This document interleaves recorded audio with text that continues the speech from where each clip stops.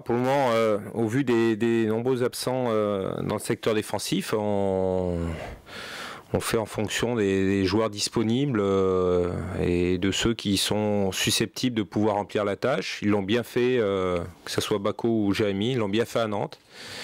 Et pourtant, c'était pas facile. C'est la première fois qu'ils étaient associés. Donc, non, c'était plutôt une, réussite. Et puis, ce qu'il a montré, Jérémy, bah, on se dit, voilà, c'est vraiment une solution.